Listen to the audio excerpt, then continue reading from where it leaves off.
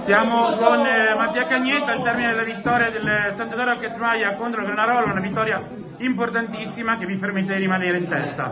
Siamo contenti, sapevamo che era una partita difficile dopo comunque un mese e mezzo fermi, nonostante la classifica sapevamo di non dover sottovalutare il Granarolo. Abbiamo vinto, siamo contenti e proseguiamo la nostra marcia.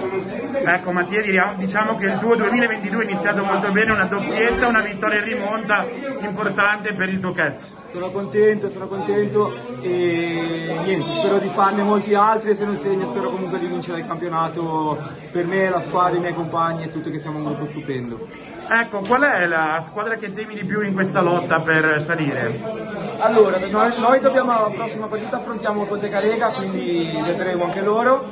Comunque l'Atletico Internazionale secondo me sono un'ottima squadra e anche il Begato noi ci ha messo in difficoltà, quindi se devo fare un tifo per arrivare secondo, ovviamente dopo di noi è per il Begato.